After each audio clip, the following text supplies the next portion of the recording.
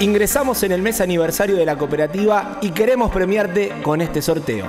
Si tenés los servicios al día, participás por dos meses de cable e internet gratis. Sorteamos 10 abonos bimestrales de cada uno y los ganadores los vamos a conocer en la emisión de San Genaro Noticias del próximo 31 de agosto. Cooperativa Telefónica de San Genaro, más de 60 años comunicando a nuestra gente.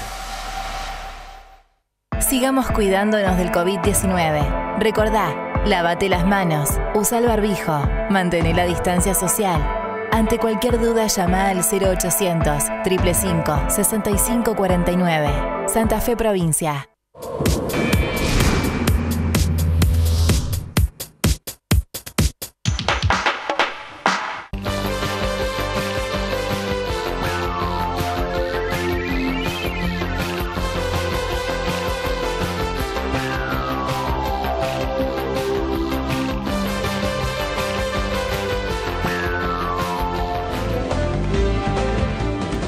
¿Cómo les va? ¿Cómo están? Eh, buenas noches. Tras el telebingo de cada jueves del Club Atlético, llegamos aquí para San Genaro Noticias, para esta media hora de información, en esta jornada que fue realmente muy agradable.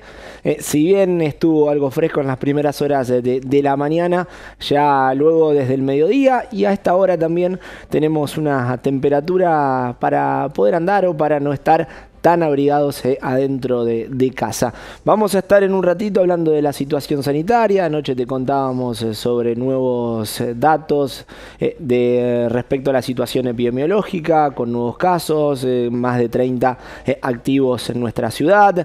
También hablaremos de la actualidad y el trabajo de desarrollo social. Estaremos con el micro de economía de Ale Bonalumi. Todo en esta media hora del noticiero, en esta semana de, de copas, porque que se vio eh, el martes la eliminación de Boca y de Racing, de Libertadores, en la jornada de ayer la clasificación de River, pero con ello la eliminación de Argentinos Juniors, de Vélez, de Defensa y Justicia, de Arsenal de Copa Sudamericana. Independiente está muy complicado ahora, faltaban apenas algunos minutos y necesitaba dos goles más. Es panorama complejo para los equipos argentinos, donde en un ratito va a estar eh, cerrando esta semana de Copa Central en el gigante frente eh, al Táchira de Venezuela. Así que bueno, ojalá se dé un triunfo del canalla para poder avanzar y romper un poquito eh, con esto de que solamente River, porque enfrentó a un argentino, haya sido el clasificado. Vamos a estar también con diversas informaciones más pero ya a los datos del tiempo. Cielo parcialmente nublado, una linda noche, el actual es de 10 grados.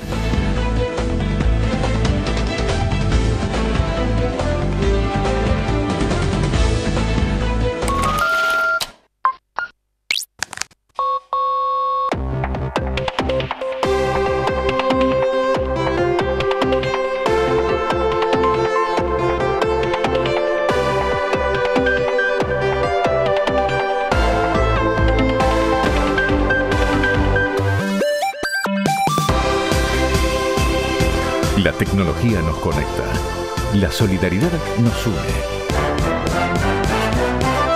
Banco Credicop Cooperativo. La banca solidaria.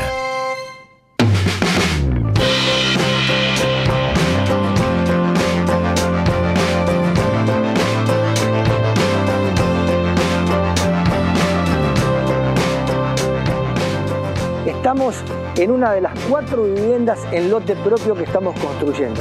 Estas cuatro viviendas se suman a las 12 viviendas que ya tenemos terminadas con este mismo programa de vivienda en lote propio. Mientras tanto, sigue avanzando la construcción de las viviendas, de las 15 viviendas en el barrio en calle Juan Perón y Eva Perón.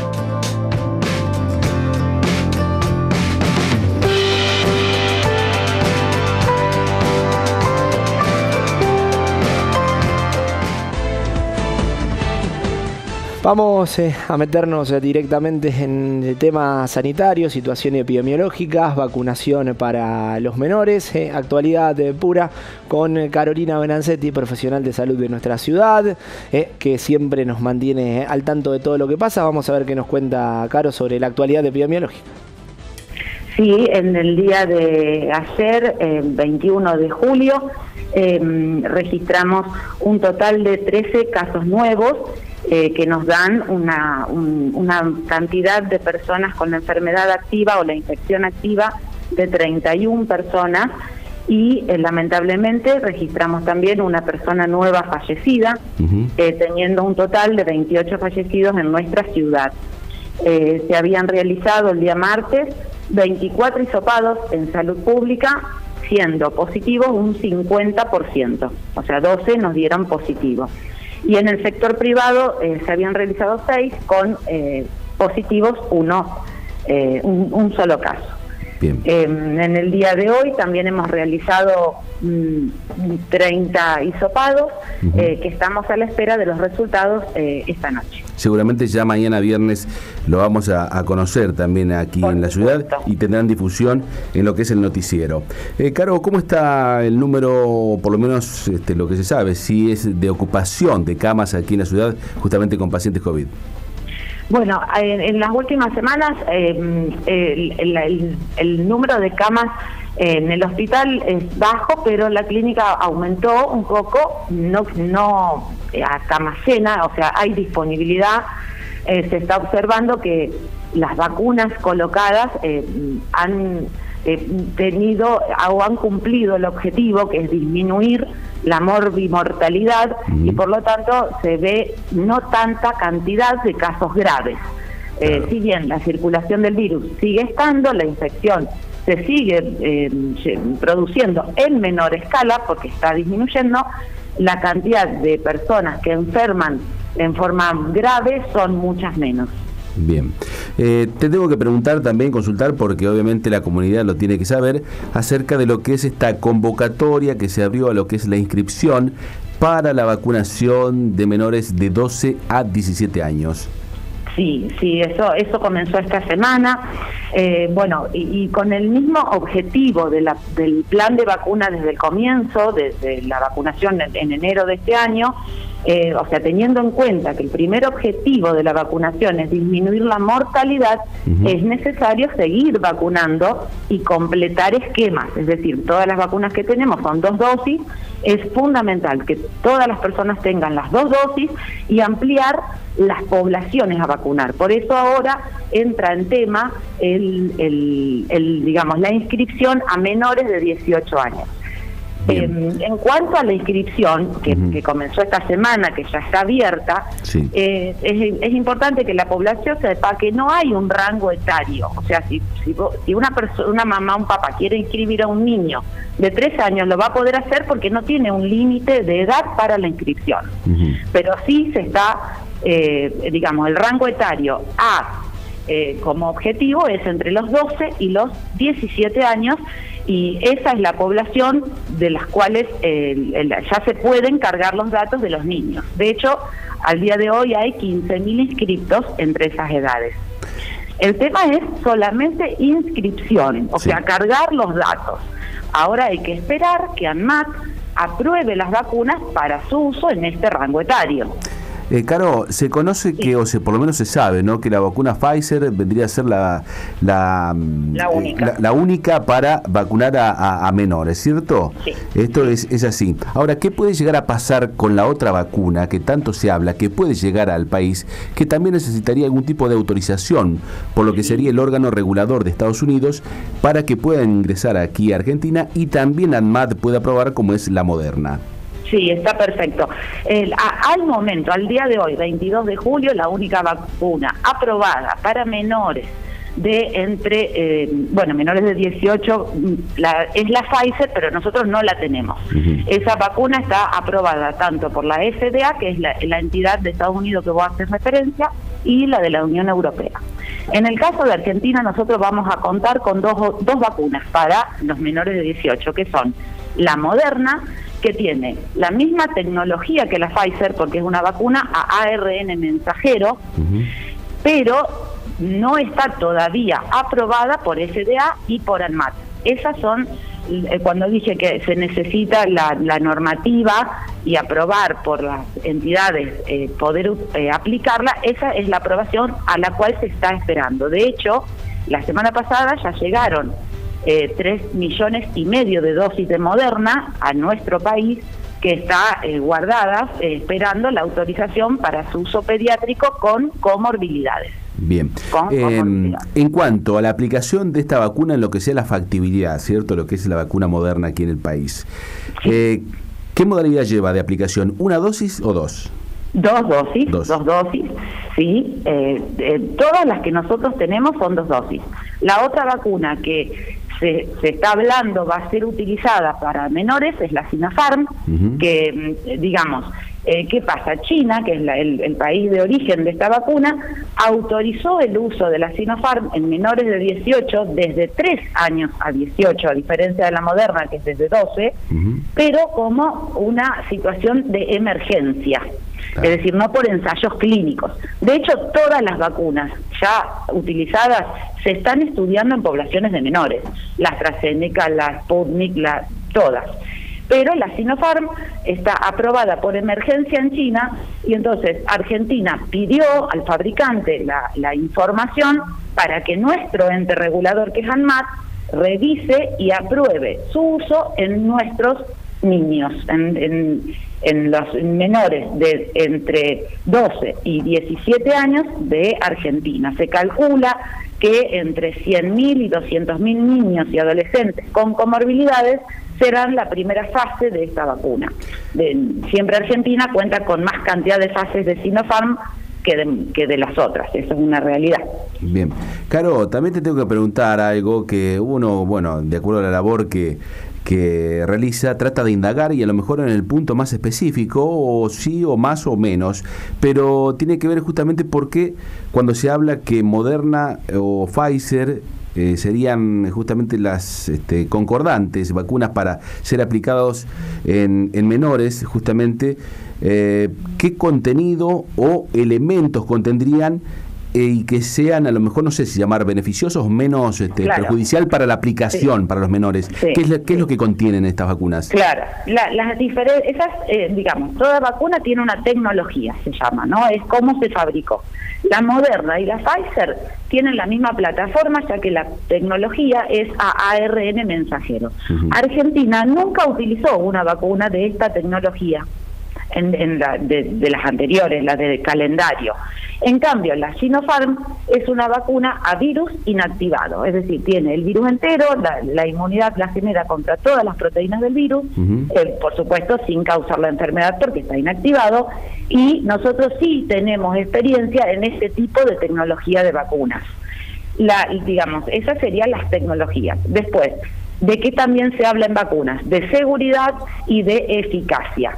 Entonces, eh, se, está viendo que Moderna tiene un 94%, es, es un porcentaje mayor de eficacia.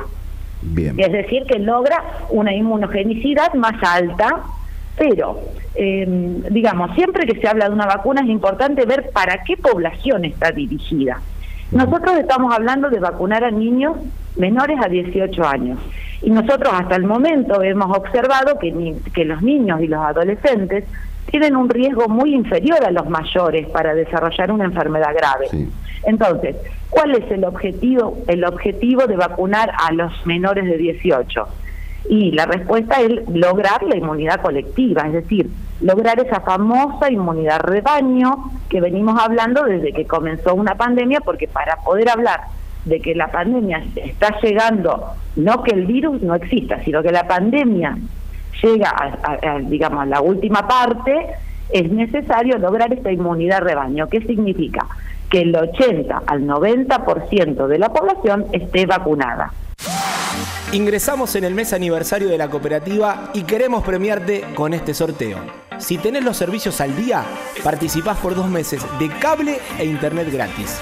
Sorteamos 10 abonos bimestrales de cada uno y los ganadores los vamos a conocer en la emisión de San Genaro Noticias del próximo 31 de agosto. Cooperativa Telefónica de San Genaro, más de 60 años comunicando a nuestra gente. Asociación de Cooperativas Argentinas. Productores trabajando para productores. Más de 140 cooperativas asociadas. Más de 50.000 productores comercialización de productos agrícolas, comercio exterior, insumos agropecuarios, Asociación de Cooperativas Argentinas. Más de 95 años brindando al productor agropecuario argentino todos los servicios y productos de una empresa 100% argentina. Un abrazo grande para Luis Toledo, para Mari que están eh, siguiendo el, noticiero eh, como cada noche lo hacen. Eh, el abrazo también para Ariel Toselo y, su familia que bueno que cada noche también son fieles televidentes del noticiero. Escuchábamos los conceptos de, de, Caro, la claridad y sobre todo hablándonos de las vacunas y las diferencias. Ahora actualidad, desarrollo social. Vamos a compartir la entrevista con la coordinadora del área con Agustina Rula. Muy bien, tomamos contacto con la psicopedagoga Agustina Rulo. Ella es eh, coordinadora del área de desarrollo social de la Municipalidad de San Genaro, a quien ya estamos saludando. Hola Agustina, ¿qué tal? ¿Cómo te va? Hola Andrés, buenas noches y buenas noches a todos los televidentes. Bueno, gracias desde ya por estos minutos y bueno, vamos a charlar un poquito de, del trabajo, de la actividad, de lo diario que se viene desarrollando en el área que, te ocupás, ¿no? Desde hace ya tiempo aquí en la municipalidad y más precisamente brindar esa información, aclaración, ese servicio, ¿no? Que tiene que ver justamente con eh, esta convocatoria que salió ya en los últimos días para la inscripción a la vacunación contra el COVID-19 para menores de 12 a 17 años. Exactamente, Andrés. Desde que surgió la convocatoria a la inscripción para la vacuna contra el COVID eh, a menores entre 12 y 17 años, bueno, hemos decidido colaborar con, con los vecinos eh, por el hecho de que quizás en algunas, eh, en algunas situaciones no cuentan con los recursos y los medios necesarios. Entonces, bueno, estamos a disposición y al servicio de, de quien lo necesite. Ya hace desde ayer que hemos recibido demandas para ayudar a a inscribir a algunas familias a sus niños o algunas dudas que tengan, cuentan con, con la oficina, pueden llegarse, comunicarse a través del WhatsApp de, de, desarrollo para lo que podamos colaborar con respecto a la inscripción. A raíz de todo esto, Agustina, me imagino un poco el interés ¿no? de, de los papás, de las mamás, de que el día de mañana cuando salga la posibilidad ¿no? de la vacunación para los menores aquí en el país, en Santa Fe y más aún todavía, por supuesto, en la ciudad de San Genaro, este, pueda ser efectivo todo eso. Exactamente, yo creo que mm, la población va tomando de a poco eh, noción de la importancia de, vacunarse, de ser responsable de nuestra propia salud y la del otro, y también en esto involucrar a los niños, ¿no es cierto? Seguro que es así. Eh, además de todo esto, y me parece que está bárbaro, ¿no? El hecho de, estar acompañando a la comunidad en el caso de que así lo requiera, justamente por un tema tan trascendental que estamos transitando, que es esta pandemia por COVID-19, eh, hay otras actividades justamente que se está preparando lo que es el área de desarrollo social de la municipalidad y tiene que ver con el comienzo ya de próximos talleres, ¿cierto? Exactamente.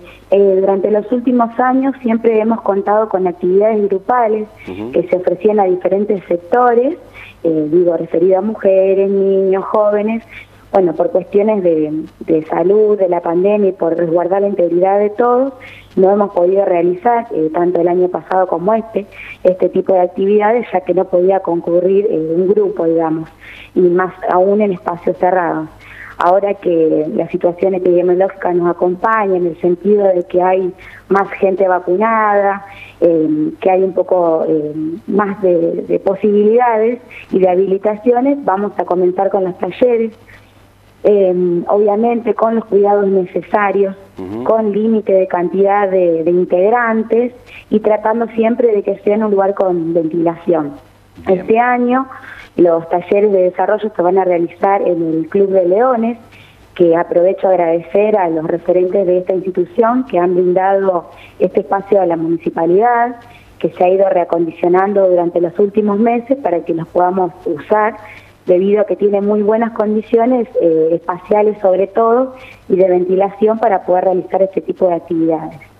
A partir de, de este lunes 26 se van a comenzar a observar las plaquitas en la página de la municipalidad uh -huh. con información sobre horarios y las temáticas de los talleres para que quienes deseen concurrir puedan acercarse a la oficina a inscribirse, ya que como dije anteriormente contamos con cupos limitados debido a la capacidad que debemos cumplir, ¿no es cierto?, como, como corresponde. Bien. Eh, sobre las temáticas, bueno, va a haber un taller para niños, un taller, eh, un rincón de infancia, eh, a cargo de la fonoaudióloga Diana Piedrabuena. La idea es que los chicos puedan tener ahí un espacio lúdico, recreativo, para poder explayarse más en, su niñez. Eh, además va a haber un, taller para mujeres de manualidades, un lugar de, para poder desarrollar la creatividad y poder tener un espacio propio, ¿no es cierto? Sí. Y, es la idea también llevar a cabo un taller de albañilería dirigido a quienes deseen aprender sobre ese oficio. Bien, eh, con respecto, justamente mencionabas al local de, de Club de Leones, eh, ya me acuerdo que del año pasado había encarado la municipalidad, ¿no? El hecho de, tener y llevar adelante la refacción, ¿cierto? Porque si bien había sido ofrecido por esta institución para realizar talleres allí, seguramente ya con los detalles finales, para dejar todo listo y para que así se produzcan los y se generen los talleres, esto que estás comentando, Agustina. Exactamente, durante estos últimos meses, aprovechando que bueno, la situación epidemiológica no nos permitía llevar a cabo las actividades, sí se aprovechó el tiempo para poder reacondicionar este espacio, que reitero, está muy bueno, cuenta con una galería, patio, eh, que es muy lindo el parque que tiene, y además adentro es re espacioso. Entonces, bueno, aprovechar este espacio es una muy buena posibilidad para eh, hacer algo estos meses que quedan del año con respecto a, los distintos sectores de la población. Bien. Eh, eh, ¿Están trabajando también con algún tipo de programas que bajan de la provincia, mm, Agustina? Mira, como otros años contamos con los diferentes convenios con la Secretaría de Niñez y también de la Secretaría de Igualdad y Género que nos permiten eh, poder tener funcionando dentro de la Secretaría el equipo interdisciplinario. Bien, eh, con respecto a lo que es el área justamente allí de la mujer, también me imagino con consultas diarias, como siempre, se ha conformado ese gran equipo de profesionales atendiendo eh, las demandas y los requerimientos justamente de la mujer sangenarina ante una situación especial, ¿cierto? Exactamente, el equipo interdisciplinario de desarrollo, el cual se encuentra la, el área de la mujer y el área de infancias, está activo todo el tiempo, no, no descansan, hay demandas, asesoramientos y consultas continuamente, a las cuales, bueno, en la medida de lo posible y del requerimiento en urgencias y todo, eh, tratamos de responder. Bien, eh, yo desde ya te quiero agradecer eh, por estos minutos, Agustina, gracias como siempre por eh, los minutos dispensados para lo que es el noticiero San Genaro Noticias, como siempre, por brindar tu aporte, la información y todo tipo de novedades que haya y que refiera justamente al área de desarrollo social de la Municipalidad de San Genaro. Muchísimas gracias a vos, Andrés, que siempre nos brindás un espacio para mantener informada a la población. Gracias desde ya, un gran saludo para vos. Igualmente, hasta luego. Gracias, hasta luego, Agustina, gracias. Sancor Seguros, una empresa líder con el respaldo de más de 5 millones de asegurados. Forma parte de nuestra familia y accede al programa Beneficia, donde todo lo que aseguras tiene premio. Ingresa a www.sancorseguros.com.ar y empieza a disfrutar. En San Genaro, Estudio Lambertucci, teléfono 44 87 54. La tranquilidad de estar asegurado. Número de inscripción 36.415. Superintendencia de Seguros de la Nación. 0800 666 8400. www.ssn.com.ar. Desde la empresa General Güemes seguimos trabajando para usted. Visite nuestro punto de venta de pasajes y encomiendas en la nueva terminal de ómnibus de San Genaro. Para una mejor atención, sacar los pasajes anticipadamente. Es el consejo de empresa General Güemes.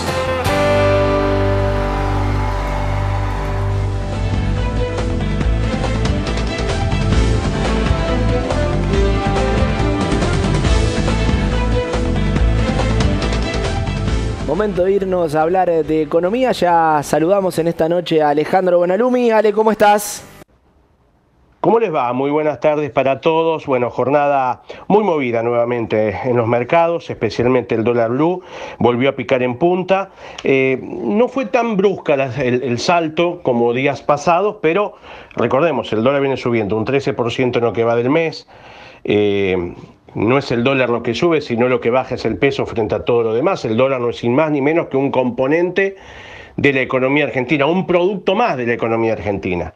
El tema es que, a ver, hay sectores que se han hecho de más pesos y algunos pueden, tienen la suerte de poder dolarizar para preservar el valor de su dinero.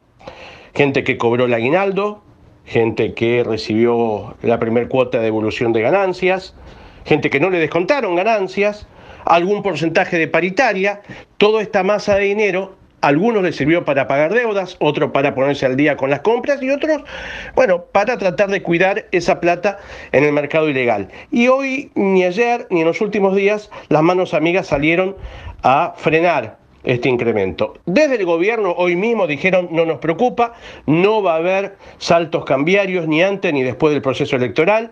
Tiene, sí, sí, la verdad que tiene herramienta, que tiene el poder de fuego y, y creen además en el mercado que como sucede habitualmente era un pico lógico por los motivos que yo le digo, la inflación entre otros, y que después no va a volver a los valores que conocimos, 145, 150, pero que este tiene que ser un techo y reubicarse por lo menos por un tiempo en 170, 175, 165, veremos, es un mercado muy chico. Recordemos también que el gran protagonista del mercado cambiario blue, negro y legal, es el turista el turista local que compra dólares para llevarse y el turista extranjero que viene, y vende dólares al blue para sacar más pesos y ese mercado se redujo a la mínima expresión, es muy chiquito. A ver, el gobierno lo mira de reojo, no se asusta, los formadores de precios, aquellos que sí miran psicológicamente el dólar blue, están atentos, pero todavía no veo ese motivo de preocupación grande de otras épocas. Veremos, veremos. Creo que 200 para muchos es un valor psicológico importante y el gobierno no va a permitir que por lo menos por ahora pegue el salto teniendo en cuenta sus aspiraciones electorales de, corto plazo. Y, la última noticia, muy breve, tiene que ver con eh, específicamente eh, el campo. Y el campo y la carne. Hoy dio a conocer el Instituto de Promoción de Carne Vacuna Argentina los aumentos que vivimos. Y hay cortes como el asado en tira que subió más del 100%, la nalga subió el 80 y pico por ciento. Nos están obligando a hacernos vegetarianos. Ningún bolsillo aumentó ni por asomo esos porcentajes.